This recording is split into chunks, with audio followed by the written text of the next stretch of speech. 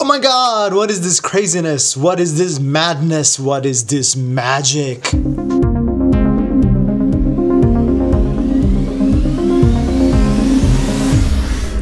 Everyone, my name is Kays and welcome to another Right Brain tutorial. So first things first, Happy New Year. I know, I know, it's already February and this is the first time that I had like a little bit of free time, but I did want to show you guys some of the latest things happening in 3Delight because 3Delight just released a new update and it's really really cool and it's really exciting and it's got some really really cool new functionalities so let me show you a little bit what I'm talking about with some of these new things in 3Delight.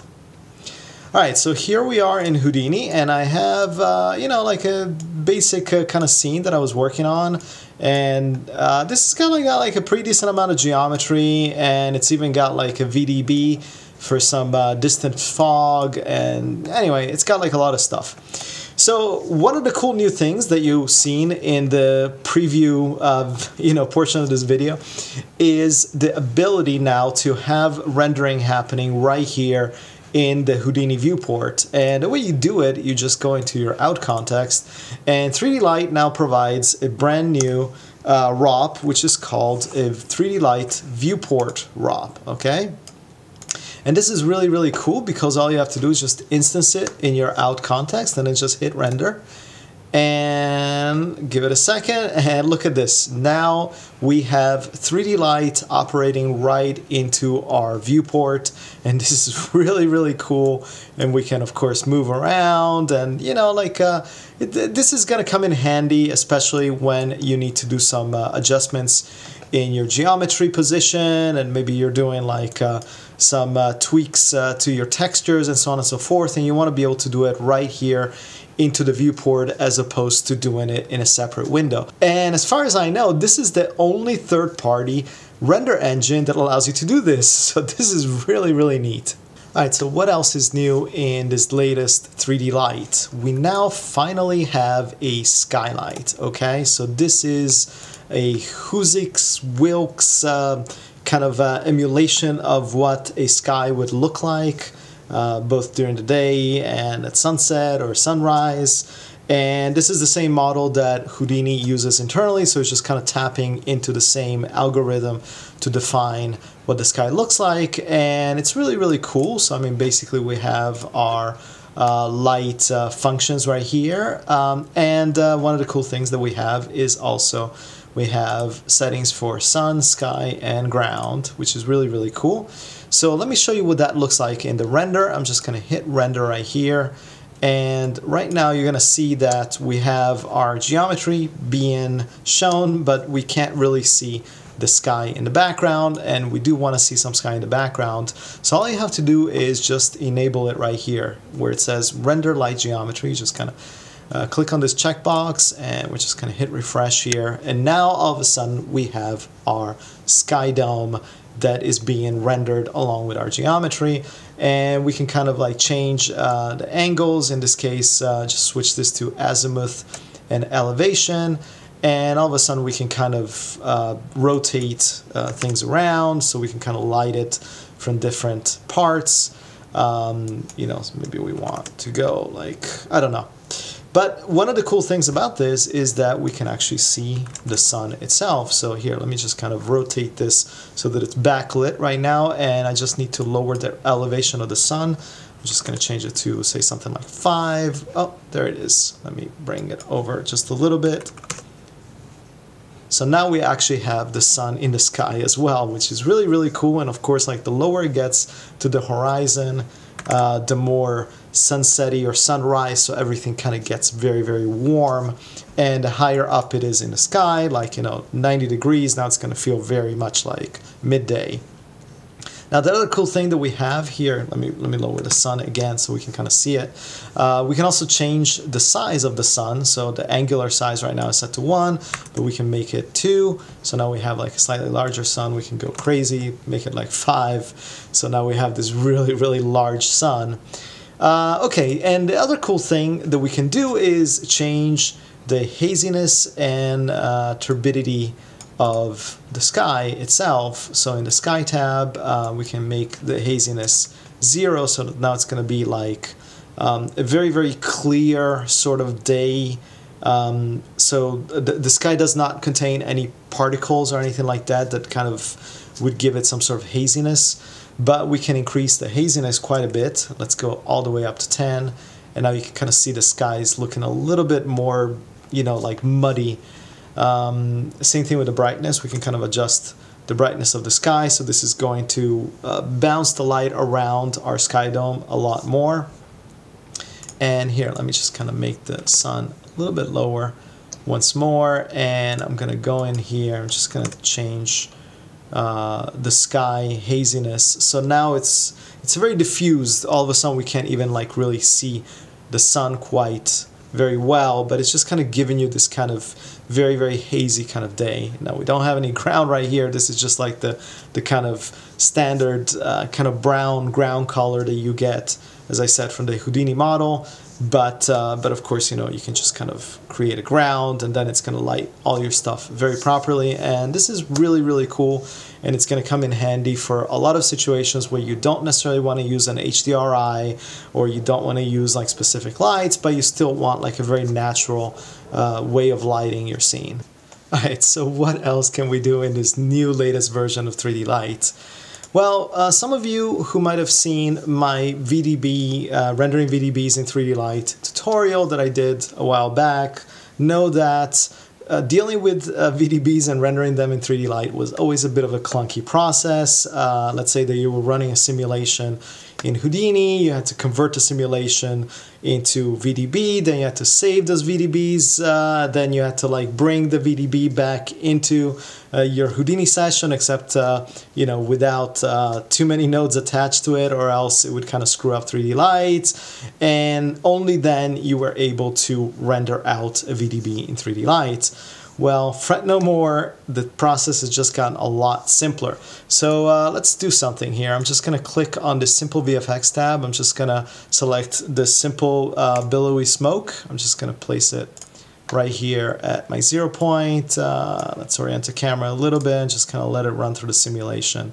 So you can see we have uh, basic kind of smoke going here in Houdini. I'm just gonna add a camera right now and let's just kind of reframe it a little bit. Okay, here we go. That's a little bit better.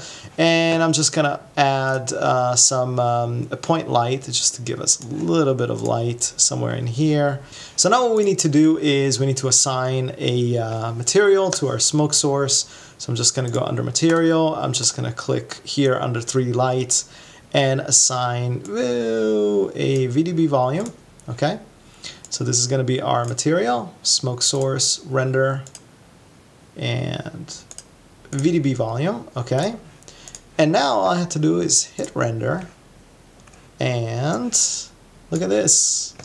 We have smoke being rendered in 3Delights without having to jump through all the different hoops that we had to jump through before. Right now it's going a little bit slow because I have in my material my um, multiple scattering set to one, which is a lot of different bounces so if I uh, make it uh, 0.1, it's going to go a lot quicker. And of course, right now the smoke's a little too thick, so we can kind of adjust the density. Uh, and anyway, you know, at that point, you have access to all of the different uh, VDB material settings, including transparency, emission, grids, and so on and so forth. But this is really, really cool because it allows you to deal with VDBs a lot quicker, a lot faster than it was before. And this is a huge, huge improvement, especially if you're working with a lot of VDBs. What else is new in this latest version of 3Delight? Uh, let me show you uh, this new scene. I have uh, basically just an HDRI in my environment light, and then I just have a simple box with basic UVs and normals applied to it, okay? So this is what we have. We basically, you know, it's it's this kind of, I don't know, like uh, tiled, dirty tiles sort of texture that I grabbed from Quixel Megascans. So um, one of the cool things about 3Delight is that you can use displacement maps with hardly any hit on the render time. So here we have the displacement texture and I go from the out color into the displacement normal bump value and then uh, I'm gonna change this from normal to displacement. In this particular case, I know that it's 0, 0 centered. A lot of the Quixel Megascans textures are 0, 0 centered as opposed to 0.5 centered. So keep that in mind if you're using a lot of displacement maps from Quixel Megascans. But anyway, uh, I'm just gonna hit render. I have like a pretty uh, 0.1 value, but I think it's uh, fairly realistic for this particular texture. So you can see now that we have displacement um, happening on our model and it's really, really cool. I also downloaded uh, the normal map from the Quixel Megascans site. So I'm gonna plug the normal map into here. And now going back into the principled, I have to change this to normal map. Uh, here, I think it's direct X. So now I'm just going to hit render and let me just kind of make this a lot more obvious so we can see a little bit what the normal map is doing. Okay, so you can see what the normal map is doing. I mean, it's not really adding any geometry, so all of our edges are very, very flat. However, it's given us the illusion that there's more kind of uh, displacement happening into our texture. So the cool thing about normal maps and bump maps is that sometimes they're very, very good with what I would call high frequency detail. Okay, so those are teeny tiny little creases and uh, uh, little grains and little imperfections on the surface, and they can come in really, really handy for that type of stuff. Where displacement maps can be really, really useful for a little bit more um, pronounced sort of uh, imperfections. Okay. So the problem with 3Delight has been that if you wanted to use both of them at the same time, you really couldn't because in the principled shader, you were either having to pick displacement or normal or bump. You couldn't pick more than one, okay? So I'm just gonna zero this guy out. As a matter of fact, we can just disconnect it completely. And I'm gonna show you this really cool node that was uh, introduced in a recent version of 3Delight that I really, really like that solves this problem. So the node is called a displacement node. Look at this. And for those of you guys that have seen uh, the terminal and saw that there was this displacement input but never knew exactly what to do with it, now you do because this guy plugs right in here. Okay, so let me show you the displacement node and what it does. So I'm going to start with plugging the displacement texture and we have different inputs here. Uh, we have a vector for vector textures, which is really, really cool. So, um, you know, uh, unfortunately, they're like a relatively new thing, and I haven't been able to really find a cool example of a vector displacement, but I'm going to keep my eyes open and I'll show you how cool vector displacements can be very, very soon. But we do have a scalar set of inputs and we have a bump normal maps and then of course we have UV coordinates.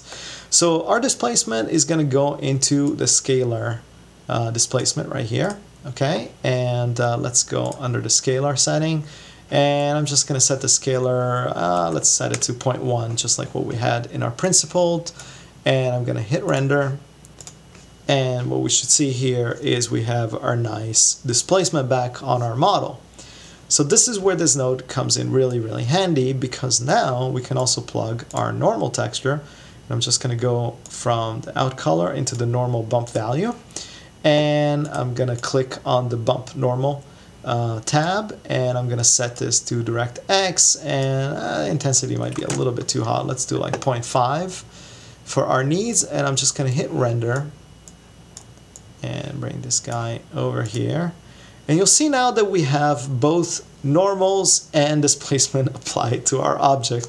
And this is huge because, as I said, you couldn't really do it very easily with uh, 3Delight in the past, and now you can thanks to this new displacement node. As always, you can go to 3delight.com to download the latest version of 3Delight, which uh, as of today, the 9th of February, it's on 2.4.3 um, you can get like the free 12 core license per customer, which is really, really cool and super nice of those guys. Or you can pay for the unlimited multi core version.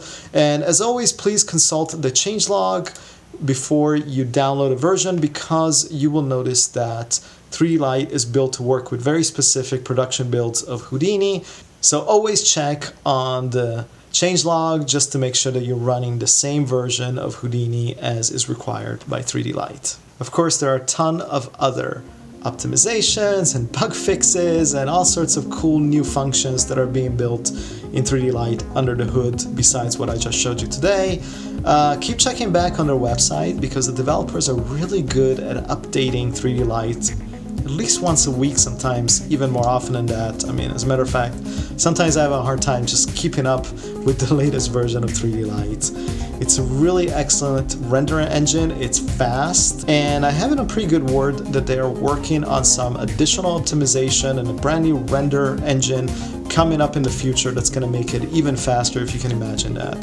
So it's really, really cool. I really dig 3Delight, and it's getting so well integrated with Houdini as you saw from like the viewport render which is really really huge. Anyway that's all I got for today, thank you for watching and I'll see you next time.